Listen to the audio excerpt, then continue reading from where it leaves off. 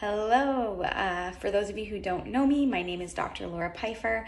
I'm a naturopathic doctor newly practicing with Conceive, and I am working at the Barrie location at Barrie Fertility Center. I wanted to make this video to let you know that I am actually starting to offer acupuncture at Barrie Fertility Center starting Friday, October 16th. Uh, so that's from 9 a.m. to 3 p.m. And I just wanted to spend the time to discuss a little bit about acupuncture when it comes to fertility specifically, because a lot of the times what we know about acupuncture has to do with a lot of musculoskeletal issues so a lot of people will go in if they have back pain or if they have neck pain or uh, healing an injury and although acupuncture is a fantastic treatment option to help a lot of those concerns. Not many people understand acupuncture's role directly in menstrual health, hormone health, and fertility. So today's video, I am strictly going to focus on some of the research regarding IVF outcomes and acupuncture but I also want to highlight um, those who are trying to regulate a menstrual cycle. Acupuncture can be extremely effective as well. Uh, when it comes to fertility, we're really looking at things to improve fertility. So we are improving ovulation, we are improving IVF success rates, and in someone like PCOS, we are regulating the menstrual cycle as well in the context of fertility.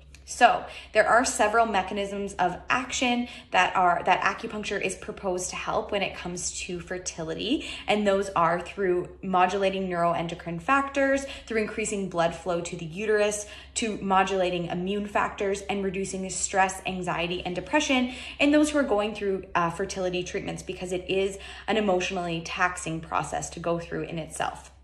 Now, because acupuncture also doesn't have really any side effects or any interactions with medications, especially with IVF medications, it's really a great tool to use not only throughout before the IVF cycle, but also while you are taking the medications and even right before embryo transfer and following embryo transfer from an IVF cycle. Now, I'm to go over some of the research, and a lot of it is in the past few months. So it's really neat that we're always up to date on the research when it comes to acupuncture and IVF. So in 2020, we looked at a systematic review um, evaluating the effectiveness of acupuncture on clinical pregnancy rates in women going through IVF with poor ovarian response. This study found that clinical pregnancy rate was higher in the intervention group, so the group that had acupuncture versus the group that didn't, and that difference was 37.8% had a clinical pregnancy rate in those who received acupuncture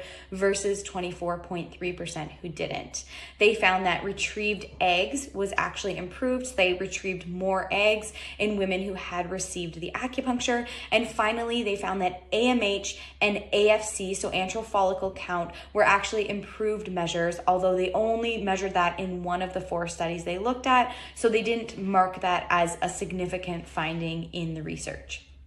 Another study also done in 2020, looked at acupuncture done 25 minutes before embryo transfer, and they found that it significantly increased IVF outcomes in women undergoing IVF compared to those who didn't have acupuncture. Another study in 2020 as well looked at three sessions of acupuncture. So, in women undergoing IVF, they did one session a week before embryo transfer, they did one 30 minutes before embryo transfer, and a third session 30 minutes after embryo transfer. And they found that acupuncture before and after significantly increased the pregnancy rates in women with unexplained infertility. This research also found that acupuncture significantly reduced anxiety levels that often occur before embryo transfer just by way of the procedure itself. So that's pretty neat as well. And so, from that perspective, lots of patients will be getting their embryo transfers done downtown. But we can always support that in the acupuncture sessions leading up to our embryo transfer, especially that week before. And then those pre and post sessions can be booked at our downtown location. In 2019, we had a recent meta analysis that found that acupuncture was effective to increase the risk of live birth rates by 30% uh, versus no acupuncture treatment. And they also found another study looking at an increase in live births by 42% in women who had previously had a failed IVF cycle. Electroacupuncture specifically was found to enhance egg maturation and fertilization rate. So, this is all really interesting stuff when it comes to acupuncture. And like I said, because there aren't many side effects and there are no medication interactions, then really this is a great way to augment your IVF or IUI uh, or just menstrual regulation during natural cycles. Now, the characteristics of this treatment improving outcomes had to do with how frequently how frequently they were done and how close to the IVF cycle as well. And so like I had previously mentioned, if you are going for an embryo transfer, getting that acupuncture a week before is really pertinent as well as doing the treatment before embryo transfer and following embryo transfer can be really helpful as well.